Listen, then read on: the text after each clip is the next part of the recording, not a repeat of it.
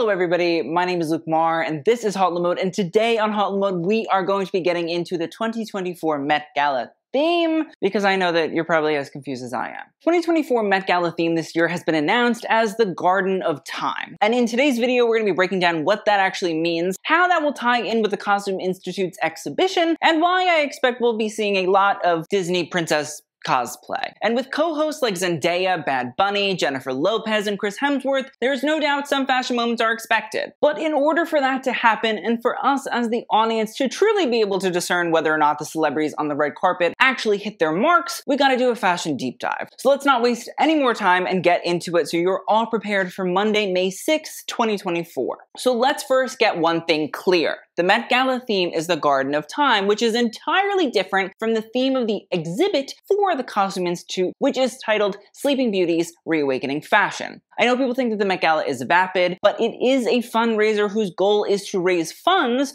for the continuation of the Costume Institute so it can care for and curate exhibits about the history of fashion because the Met actually doesn't give the Costume Institute any money. And the exhibits can be viewed by anybody when they're in New York and they go to the Met. So not only will the Met Gala be the big publicity push for the spring exhibit, but the fundraising also benefits the fall exhibitions every year, with the most recent being Women Dressing Women, which looked at some of the greatest women designers throughout history who oftentimes don't get the acclaim, praise, or importance placed on their work as the unsung heroes of fashion and style. So now before we talk about the dress code for the evening of the Met Gala, we have to talk about the exhibition theme as that gives us a lot more context about the reason the dress code theme for the evening was chosen. Again, Sleeping Beauties, Reawakening Fashion might automatically make people think of Disney princesses like Sleeping Beauty who pricks her finger on a spinning wheel and is cursed to fall asleep for 100 years and can only be awoken by true love's kiss. And while the story of Sleeping Beauty might have been an influence, don't expect any Disney costumes in the exhibit for your own sake. The exhibit will focus on a more niche element of fashion, which is the care and storing of garments so that they can remain in conditions that allow them to exist still and be used for historical references. The Costume Institute's main goal when it was founded in 1937, not in conjunction with the Met at that point, was to preserve fashion's history, and did that by conserving fashion and costume pieces from time. It combined with the Met Museum in 1946 and has continued on since then, amassing an exquisite private collection collection through both donations and acquisitions of key garments. A large part of the Costume Institute's job isn't just putting clothing on mannequins and calling it a day, rather, to upkeep a range of pieces that date back from all the way to 2300 BCE till today.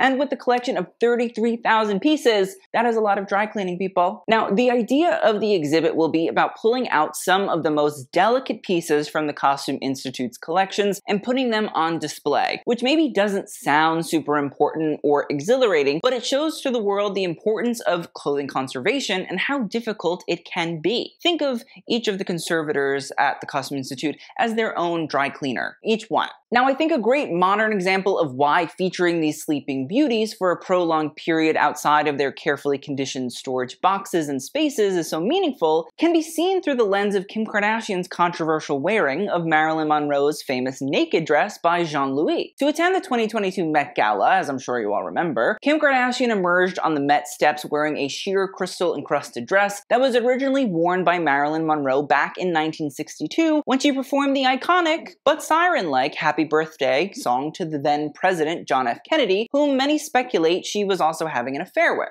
Now, I would say that not only is the dress itself a historical artifact because of Marilyn's wearing it and pushing boundaries of what revealing clothing could be, but because it holds significance in the cultural, political, and societal landscape of the United States. But my issue here is historical artifacts like this shouldn't be used as props for publicity stunts, which is what the garment became when Kardashian attempted to fit into the dress, which she actually couldn't, and is the reason she wore a white fur jacket around her elbows to hide the fact that it did not fit in the back.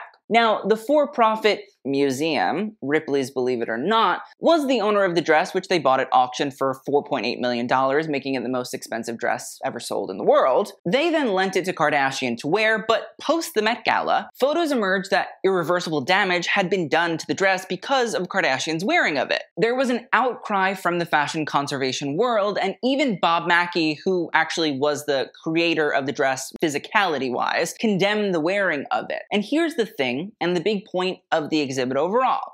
Fabric and clothing after time is sensitive to so many elements that most of the time they should never be worn again to keep them in that proper original condition. Now, I won't say that Kim Kardashian is the inspiration for this exhibit or that Andrew Bolton, who is the curator of the Costume Institute, has a vendetta against her and is doing this to spite her. Although, that would make me laugh. I can't imagine Andrew Bolton being petty, but like, would I love to see that?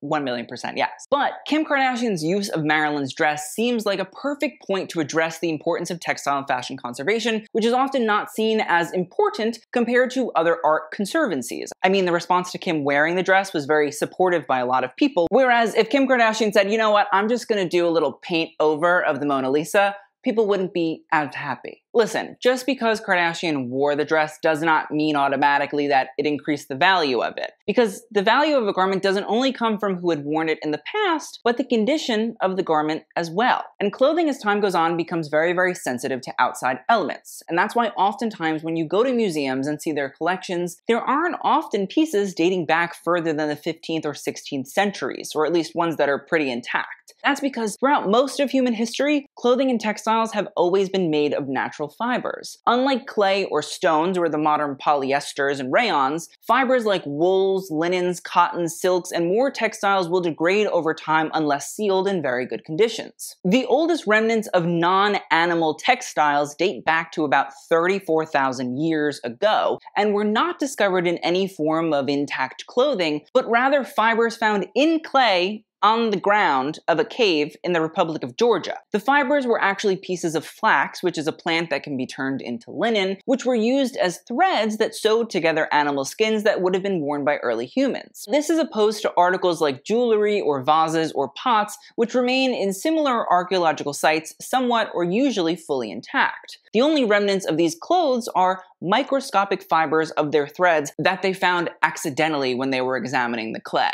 And this goes back to the importance of clothing conservation, as clothing and textiles made up of natural fibers usually cannot remain intact for such long periods of time after their initial creation. In the case of some textiles, like the ceremonial and ritual linen that wrapped the body of the pharaoh King Tutankhamun, which initially were white when he was wrapped, over the millennia they turned a black color similar to soot. The burial grounds and tombs of pharaohs, especially in Egypt, would have been better kept and preserved than the average or even nobility of ancient Egypt, as well as the conditions of Egypt is kind of dry and good for just preserving things anyway. Textiles degrading in quality is incredibly difficult to negate outside of today's very modern standards and practices. Now, you might be wondering if Tutankhamun had his tomb sealed, what could have caused the degrading of the textiles? Well, a lot of things, because textiles have a host of enemies. Some of the more obvious ones might be insects or animals like moths or mice that can and will feast on these fibers, but things like lighting, moisture levels, air quality, dusts, and molds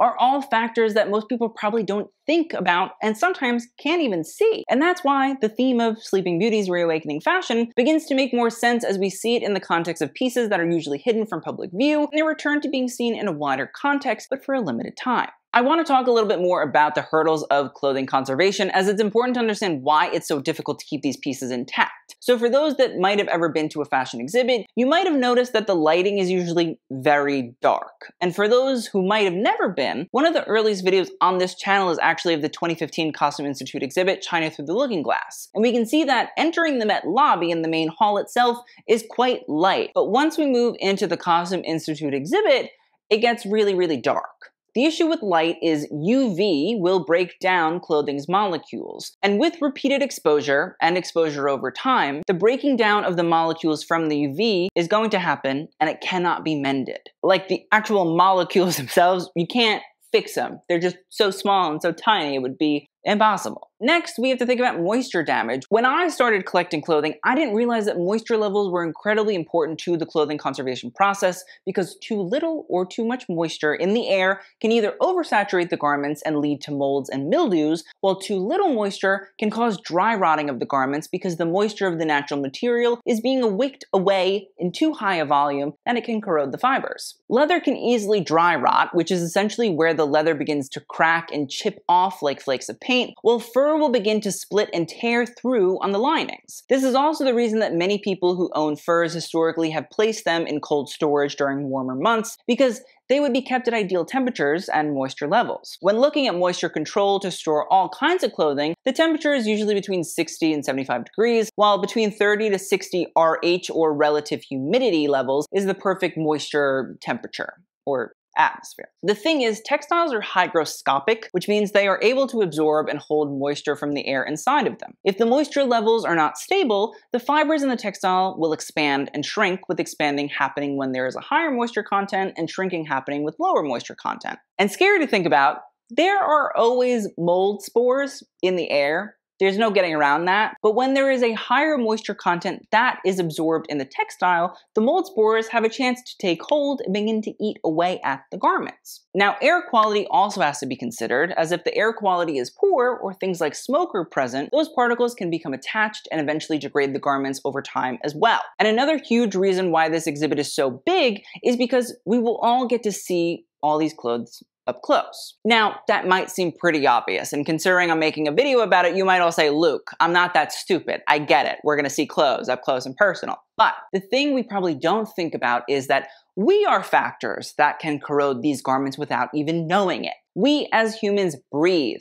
We have sweat and we have little moisture of our own. And we shed, whether that is hair or skin that sometimes is visible, and other times is not. Those pieces of dander or those pieces of sweat can fall or attach themselves to the clothes or can fall on the floor, contribute to the creation of dust, and both can attract insects that feed on dander and our gross humanness. The dander eating insects can attract insects that eat the dander eating insects, creating a food chain that can cause an infestation on the garments as well. And some animals are just attracted to the natural fibers in clothing like moths, or worse, cockroaches. I didn't know that. I found that out when I Googled disgusting. Disgraziad. No bueno. And now the reason that I won't shut up about the exhibit and the importance of all these conditions is because when we think about Kim Kardashian's wearing of the Marilyn Monroe Jean Louis dress, sweat and hair and dander and things like that placed on the archival garment can also corrode those fibers over time as well as change the color or even stretch the weaves of the actual garment. You know,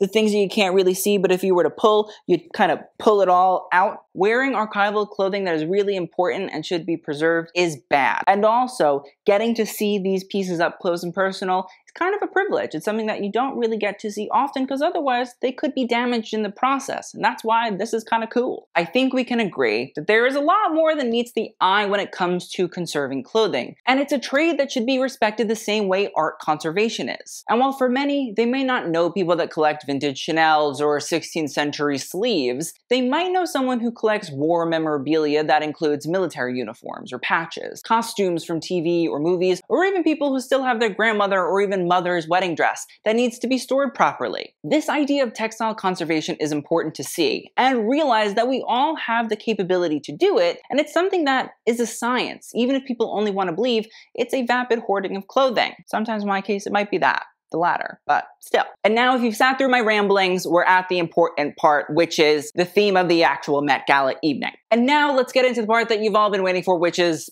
the actual theme of the Met Gala evening, the Garden of Time. This is the dress code for the theme of the Met Gala itself. It's not to be confused with Sleeping Beauties Reawakening Fashion, although that is part of the influence on this whole theme. The Garden of Time seems a tad bit open ended, as per usual, but is actually based on a short story by the British author J.G. Ballard. Now, Ballard is famous for his novel Empire of the Sun, about a British boy living in Shanghai when the Japanese Imperial Army takes over, which was then later turned into a film with the same name. But the Garden of Time's a little bit different, and let's do a synopsis. Now, the story follows a count and a countess who live in a large villa in the countryside with beautiful gardens and rolling hills and fields. Now, they are both dressed impeccably, seemingly in late 19th century dress, and are cultured and obviously wealthy. But every day, from the safety of their villa balcony, they can see a ragged army of, quote, humanity approaching their home slowly but surely. We're not really sure of the intentions of the army, but the Count each evening, as the horde grows closer, plucks this beautiful little flower made of crystal from the garden,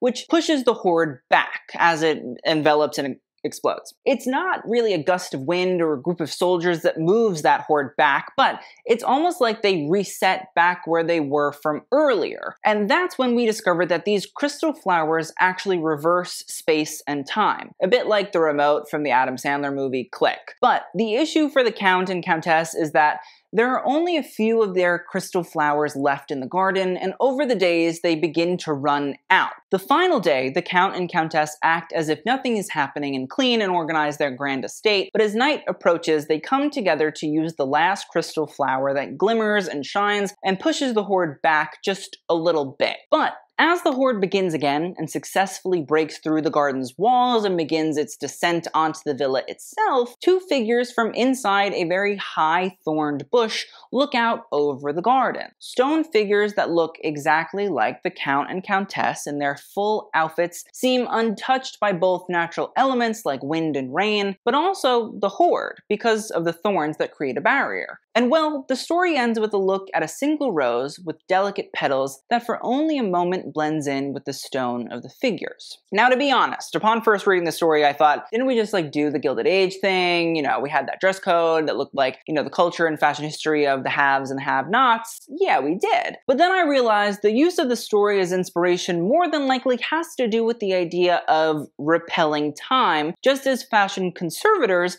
want to repel the elements that eventually corrode garments, which time is only one factor of. And it seems that even with a magical flower with properties that can reverse time, there is still only so much that can be done to prevent what is inevitable. But does this story really help us narrow down what exactly will be on display on the Met step? To a degree, maybe. Listen, Vogue, who helped come up with the theme, stated that, quote, fleeting beauty is a boiled down way of interpreting the theme. And I think we will more than likely see a lot of florals and time or clock themed styles bit on the nose for me, but hey. I also have a feeling that we will see a lot of references from designers both into their own archive and into historical fashions and fashion moments. And I say this because I think both the exhibit and the dress code theme have been inspired not just by fashion conservation, but the general theme in the past decade or so of second-hand, vintage, and archival fashion becoming not only a trend, but part of the normal wardrobe of many young and old people. Fashion has always been about pushing forward what is the next trend and style must have,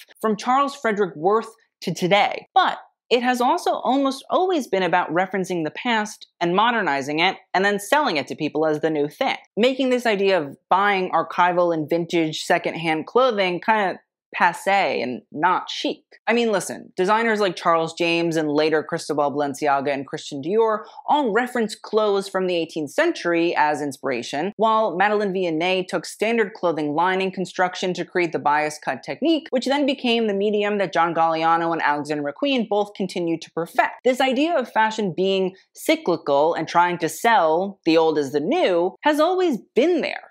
There are even the great fashion family trees like Christian Dior, who employed Pierre Cardin, who employed Jean-Paul Gaultier, who employed Margiela, who then inspired Raf Simons, who employed both Pieter Mulier and Mathieu Blazy. These designers reference the work of their fashion grandparents and parents, and it continues this cycle of designers being inspired or learning from each other, again, making the old new. In this year's context, we should think of fashion history like a gigantic garden, where one can pick the easiest and most convenient flowers that always look beautiful no matter where they are, or you can get lost in the weeds and find beauty in garments that might have been written off or forgotten about, and turn those into something worthy of becoming immortalized. To go back to this general trend as of recent years where vintage clothing has become a way to break into the fashion world when access by its gatekeepers isn't always granted, I mean, listen, Kim Kardashian wearing the Marilyn Monroe dress is an example, but her also wearing the famous Alexander McQueen oyster dress or a slew of vintage Thierry Mugler creations also bolster the fact that Kardashian used an extensive network of vintage fashion dealers to secure herself as someone with fashion history knowledge. But I personally think this idea of vintage fashion becoming cool within the fashion world world, per se, was when Anya Taylor Joy wore a vintage Bob Mackie wedding dress back in February of 2020 for one of the Emma premieres. The use of a beautiful vintage inspired gown that came from stylist Law Roach's own personal archive,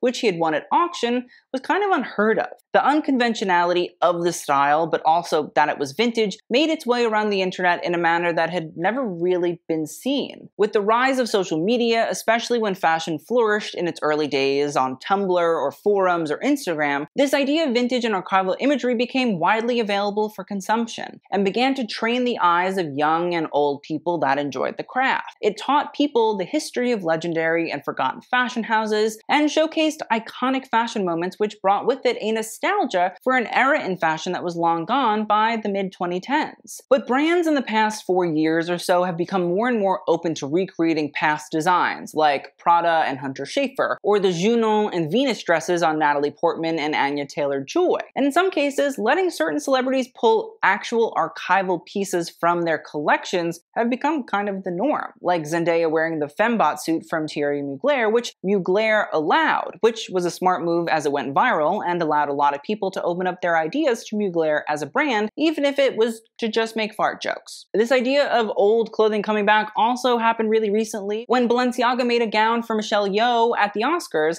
which was made up of three or four non-Balenciaga haute couture dresses bought secondhand off of eBay, upcycling these vintage garments into something completely new. The thing is, the Garden of Time is before us in the current cultural fashion zeitgeist. This idea of remembering these pieces or remixing them like exploding flowers is happening already. And so I wonder if Andrew Bolton and Anna Wintour are using the Met this year to reflect this years long trend of vintage garments becoming not only cool when it comes to museum mannequins, but cool when worn by people as well. This year's Met Gala theme pretty open ended. And that means a lot of people will do the bare minimum, but I have a lot of faith celebrities will really work to make their outfits this year truly something special. But to be honest, I guess we won't know what the Garden of Time really holds till May 6th, where I'll be covering all of the looks for all of you. So I hope you guys enjoyed. I hope this gave you a little bit more understanding of what the vibe will be for the Met Gala, and I will see you guys on the next video. So TTY, no.